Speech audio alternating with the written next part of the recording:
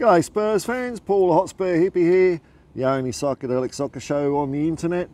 It's quite a nice lovely day here in sunny but cold Sydney. Autumn's well and truly here. I've just had a little uh, browse around the Spursosphere uh, yesterday and this morning and you know what, you know what? I have been avoiding it for a few weeks because of our four, four game losing streak but it wasn't as bad as I expected. It's, it was actually much more of a, and I'm, I'm sort of generalising here, the impression I got, it was much more of a accepting, okay, heads down, bums up, let's just keep going kind of thing. We, we're, we're rebuilding, we've got a, we're, we're, knock, we're in the process at the moment of knocking it all down and, uh, you know, progress in football isn't like this linear little line you can draw on a graph. There's bits and things going up and down. I mean, when you think of a dressing room, how complicated is that environment?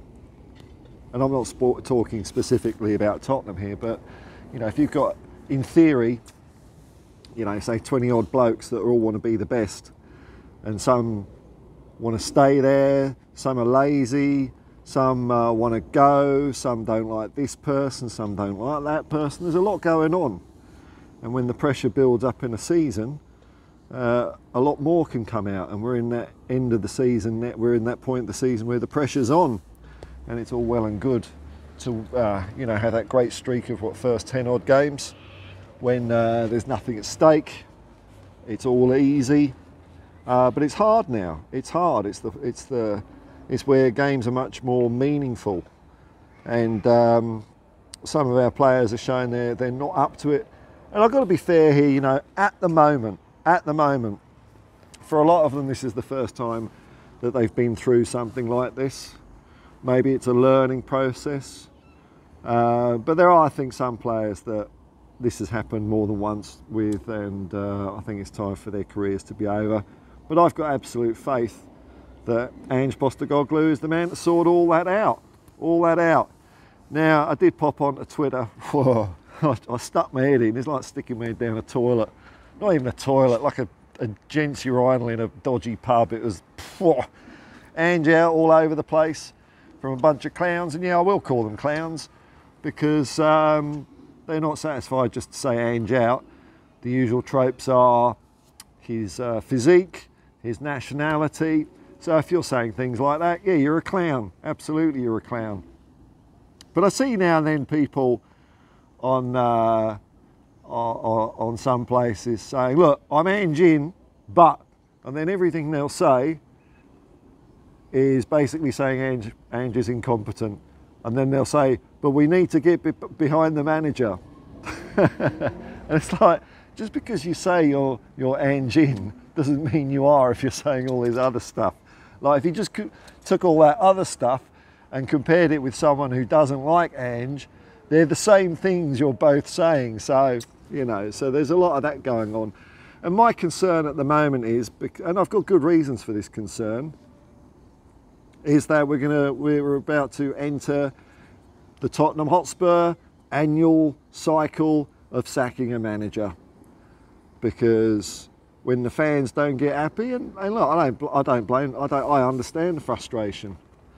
But if the fans start shouting what they usually do, bit of booze, a lot of Levy out, Mr. Uh, gets a bit uncomfortable, doesn't he? And we know what he does. Every single time this has happened, he sacks the manager. So it's very difficult, I think, to say, you know, on one hand, we want to back the manager and you're not doing your part to back the manager as well. Now, I'm not blaming fans for that because it's, it's Daniel Levy that's making the decision. He's the one that's being very soft and weak by caving into fan pressure year in, year out. He doesn't have to do that. He does cave into it. So it's not really the fans that are responsible for that. Daniel Levy is his own man and making his own decisions. But it's inevitable if there's a big thing that happens often at the end of the season where we fall off and there's a lot of protests and stuff like that. Well, if you think Daniel Levy hasn't changed, why are you doing it? Because he's going to do it.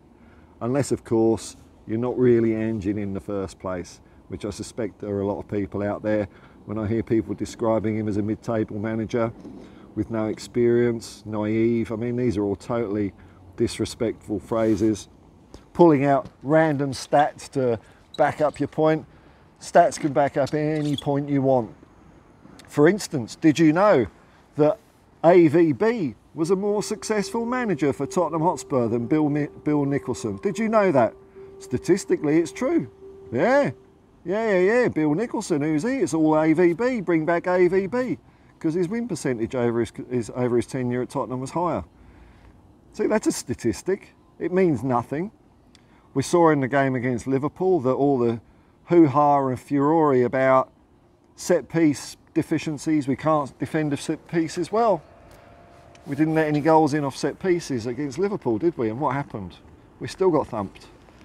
You see, this is what Ange is saying. It's not just about defending set pieces. It's not just patching up one here. We're not playing whack-a-mole with this football team. We're trying to get it going in the right direction.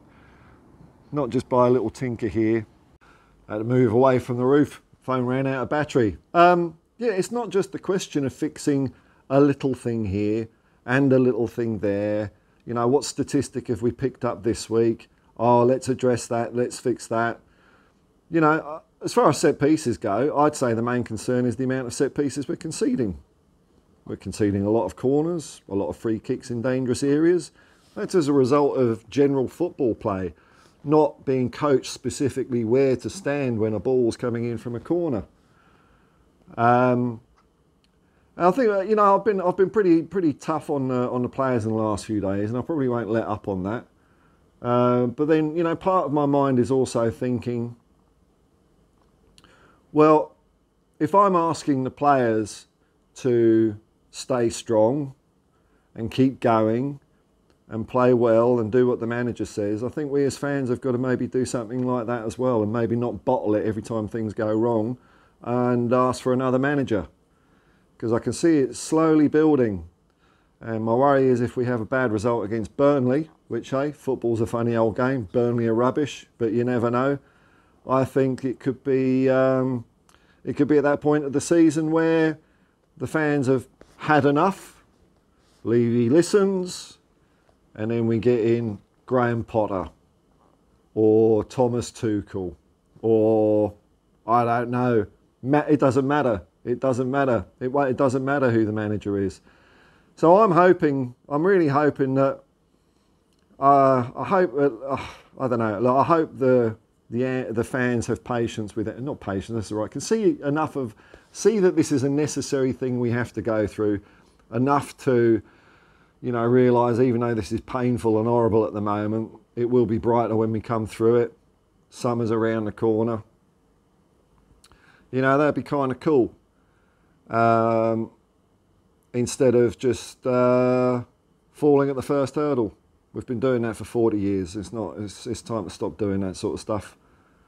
So uh, we need to give Ange a good uh, a good run through. And if I don't know the end of next season or the season after, we can't really feel it, we can't really see it, then we've got something to go on. But one season, we, this is what we have been doing. This is what we do every year, and it's not worked. So why, why are we doing it again? Why are we doing it again? And the problem is, it would be, you know, we've got to take the cult, uh, the, the cult of personality out, away out of it, away from it. Because you know, last year when people were baying for con, it's going to be kind of like so, so, slightly different people, I think. So you might not, uh, because you are not a Conte fan or you're not a Mourinho fan, doesn't mean you're not an Ange fan. It's, it's there's probably overlap, but it's different sets of people. I don't think it's all the same people all the time.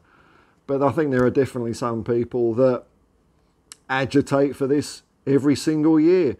By like what I say. They'll say, oh, I support Ange, and then they'll say nothing good about him and just criticise the hell out of him and then say, but we should back the manager. Well, why don't you back the manager, eh? Why don't you just perhaps give a little bit of support?